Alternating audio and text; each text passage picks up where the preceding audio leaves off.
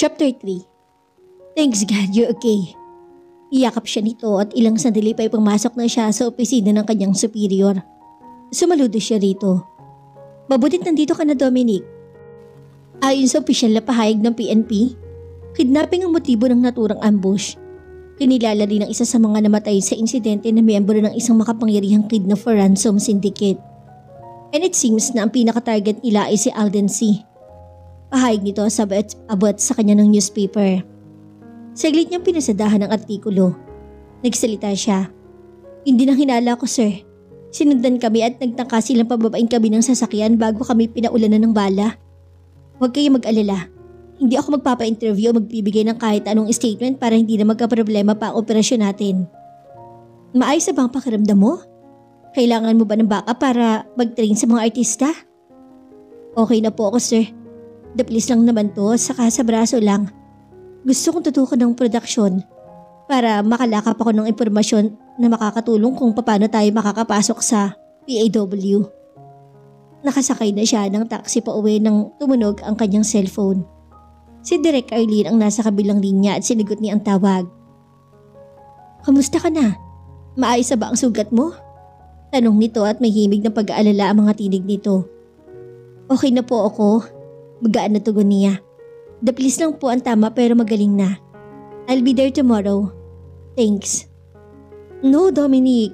Ako nga ang dapat magpasalamat sa iyo. Kung hindi dahil sa iyo baka kung ano nang nangyari sa kanila. Ang tinutukoy dito ay dalawang artista. Naku maliit na bagay lang po yun. But I am still very thankful to you. Magpahinga ka ng mabuti ha. Pinutol na nito ang tawag. Maya-maya ay nagring ulit ang telepono niya at biglang bumilis ang tibok ng kanyang puso. Si Alden. God, bakit sobrang na-excite ako sa tawag pa lang niya? Maski kumakabog ang dibdib ay sinigot niya ang tawag nito. Hello? Anito sa kabilang linya. Hindi ka agad siya nakapagsalita dahil pakiramdam niya ay napipisiya. Nikki, are you there? Pukaw nito. Ah yes, hello. Pinilit niyang gawing formal ang pagsasalita. Hey, you didn't bother to wake me up this morning when you left. May halong tampo na sabi nito. Ayoko na kasing abalahin ng tulog mo dahil alam kong pagod ka. Matipid naman na tugon niya. Malalim na buntong hininga ang narinig niya sa kabilang linya. Ilang segundo rin na wala siyang narinig na salita mula rito. By the way, the production team will hold a Thanksgiving dinner tonight after the press conference. That would be around 7 in the evening at our house in Dasma. Please, be ready by then. Dadaanan na lang kita sa place mo. Gusto sana niyang tumanggi. Hanggang maaari ayaw niyang masyadong papalapit dito. Ngunit naisip niya na maaring makatulog yun sa proyektong hawak niya. Kaya pumayag siya. Sige, pero para hindi ka na maabala, you could just give me the address. I'll just take a taxi. No, Nikki. On the way naman ang tinutuloyan mo sa bahay namin. I'll drop by at 15 minutes before 7. Hindi siya nito binigyan ng pagkakataong tumanggi. Ayaw aminin ng dalaga sa sarili na excited siya sa isipin na ang effort ni Alden na personal siyang susunduin. Subalit ayaw niya bigyan niya ng kahulugan. Siguro gusto lamang nito magpasalamat sa ginawa niyang pagliligtas dito. Binuksan niya ang telebisyon para abangan ang press conference ng production team ni Direk Arlene. Eksaktong alas tres ng hapon ang ipalabas ang balita. Hinggil sa tangkang pagkidnap sa dalawang artista. Nalagay sa peligro ang buhay ng aktor, model at anak ng may-ari ng Philippine Airways na si Alden C. at ng actress model na si Danine Villar, kasama ang dalawang miyembro ng crew ng Global Entertainment Company. Nang dangkain silang dukutin ng isang kidnap for ransom gam.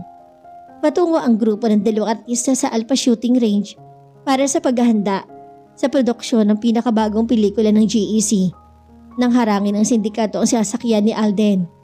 Subalit nabigo ang tangkang kidnapping dahil sa ekspertong martial arts trainer na noon ay kasama ng nasabing mga artista. Ipinakita sa screen ng mukha ng aktor at aktres, pati na rin ang mga sasakyan na ginamit nila at ng mga would-be kidnappers. Tinamaan ng bala sa kalimang braso ang trainer na ngayon inasa maayos at ligtas sa kondisyon. Ayon sa investigasyon, kidnapping ang lumalabas ng motibo. Base sa pagkakakilala ng mga namatay na miyembro ng WRS. isa sa pinakamalaking sindikato ng kidnap for ransom sa Pilipinas. Samantala, ginanap ang press conference na Alden at Nadine kasama ang direktor ng naturang pelikula upang isa publiko ang naturang insidente.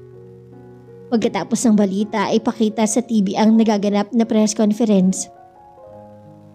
Hindi niya namalayan na nakatulog siya habang nanonood ng TV.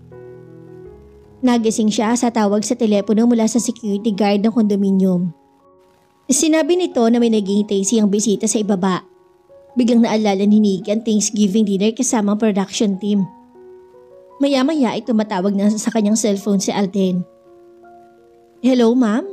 Untag na security guard na nasa kabilang linya. Ah sige, paakyatin mo muna. Natatalantang sagot niya sa kausap. Sinagot niya ang tawag ng binata sa kanyang cellphone nang maibaba niya ang landline. I'm sorry Alden, nakatulog kasi ako. Give me 15 minutes. Akyat ka na lang sa unit ko. It's on the 50th floor, number 1526. It's okay, take your time. Malapit lang naman ang bahay namin dito. Sagot nito. Nagmamadaling tinungo niya ang closet. Kumuha siya ng isang pares ng dark jeans at pink long sleeve blouse. Papasok na siya ng banyo nang tumunog ang doorbell. Dali-dali niya binuksan ang pinto at pinapasok ang binata. Bumilis na naman ang tibok ng kanyang puso. Pagkakita niya rito. He was so gorgeous in that light blue stripe, long sleeve polo shirt at blue jeans. Very manly ang dating nito na bumabagay sa bahagyang tumutubo nitong buhok. Tumikhim to nang mapansin na nakatulala siya. Bahagya itong humiti bago nagsalita. Hi, may I come in? Namula ang kanyang pisngi. Come in, Tugon niya at iginiya ang bisita palapit sa sofa nang makapasok to sa loob. Pagpasensyahan mo ng unit ko ha. Maliit lang at medyo magulo. Natatalant ang sabi niya. Lalo siyang na-conscious nang mapansin niya na nakatingin na binata sa kanya mga binti. Noon lang niya naalala na nakasuot nga pala siya ng shorts kaya litaw ang kanyang long, shapely legs. Give me 15 minutes. Tumalikod na siya at pumasok sa banyo sa loob ng kwarto niya. Habang inihintay ang dalaga ay iginala naman ni Alden ang tingin sa loob ng unit nito. Mas maliit yon kumpara sa unit niya. Studio type yon, pang isang tao lang. May isang malaking couch sa bahaging yun ng living room. May family picture na nakasabit sa dingding. Nakasabit din ang graduation picture ni Nikki pati ang college diploma nito. She looked like a goddess in long hair. Sabi niya sa sarili habang nakatingin sa graduation picture nito. May salaming display cabinet kung saan nakapaloob ang iba't ibang certificates at medalya na karamihan ay mula sa pagsali nito sa taekwondo at archery. Sa bandang kalibang bahagi ng unit ay isang maliit na kwarto. Dahil may salaming dingding iyon, nakita niya kung anong laman ng silid. Nagsisilbi yon bilang mini library na ang kagamitan ay isang MacBook, isang 24-inch desktop computer at isang PC tablet. Naroon din ng isang 56 inches LCD TV isang study table at couch. Ang katabing kwarto na salamin din ang dingding ay mahuhula ang mini kitchen. Ang saradong pinto sa harapan niya ay kwarto marahil ang dalaga. Napangiti siya. Naging curious siya kung ano ang itsura ng silid nito. Nagulat naman siya na biglang bumukas ang pinto. Lumabas si Dominic na nakabihis na. Ang bilis naman, komento ng binata. Ayaw kasi kitang paghintayin. Biro niya. Ilang sandali pa ilula na sila ng sasakyan ni Alden at binabagtas ang daan patungo sa bahay ng mga C sa may Dasmariñas Village. Pinatugtog nito ang CD player ng sasakyan. Kumusta ka na? Magaling ba ang sugat mo? Tanong nito sabay sulyap sa kanya. Yes it is. Itinaas niya ang left sleeve ng kanyang blouse. Tanging manipis na bandage na lang ang nakatakip sa sugat niya. Good, may training pa rin tayo bukas. Nakangiting tanong nito. Oo naman, malit lang ang sugat ko. Tugon niya. Tumingin sa kanya at ngumiti. Walang ano-ano ay pumailin lang sa loob ng sasakyan ang musikang Angels Brought Me Here. At malamyas at napakaganda ng awitin. Ramdam na ramdam niya ang romantikong mensahe nito. Hindi siya tumitingin kay Alden. Nararamdaman niya na paminsan-minsan itong sumusulip sa kanya habang nagmamaneho. May dreams come true When I found you, I found you, my miracle. Ayaw niya bigyan pakahuligan ng mga sulyap nito at masalong ayaw niya napansinin ang sariling nararamdaman. Hindi kasama sa plano niya ang mag-in love sa binata. Ilang saglit pa ay pumasok sila sa isang pribadong subdivision sa may Makati. Napanganga siya sa nakita. Hindi lang pala mansyon ang pupuntahan nila. Mas bagay na tawagin tong palasyo. Sumaludo ang isang uniformadong gwardya sa binata. Nang ihinto ni Alden ang sasakyan sa harap ng mansyon, lumapit ang isa pang uniformadong security guard at kinuha ang susi ng sasakyan para igarahe. Bigla ay nandiliit si Nikki sa sarili ng matanaw ang mga bisita ng mga si. Inilalayan siya nito sa kanang braso pababa ng sasakyan. Tumingin siya rito at nagsalita. I thought this will just be a simple dinner with the production team. Hindi niya akalain na ang ordinaryong dinner pala rito ang granding pagtitipon na para sa kanya. Yes, this is the whole movie production team and the TV executives. Plus, few friends and employees na inimbita ni Mama. Nakangiting tugon ng lalaki.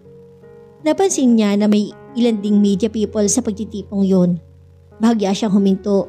Nagdalawang isip siya kung tutuloy dahil gusto niyang umiwas sa mga tao. Lalo na sa miyembro ng press na malamang ay may mga ilang nakakakilala sa kanya. Binagala niya ang paglalakad papasok at dumistansya sa aktor nang sa ganun ay hindi sila makatawag ng atensyon. Come on, let's go. I'll introduce you around. Akabang kukunin nito ang kamay niya. Nagatubili siya. Ah eh, Medyo sumama kasi ang tiyan ko. Pagkakaila niya. Mauna ka na. Susunod ako. I'll go to the comfort room first. Okay. Tumango ito. Come, the comfort room is upstairs. Sabi nito na akmang hihilahin siya patungo sa loob ng bahay. Siya naman pagdating ni Nadine. Sexy-sexy to sa suot na micro mini skirt at strapless blouse. Napatilito na makita ang aktor. Alden!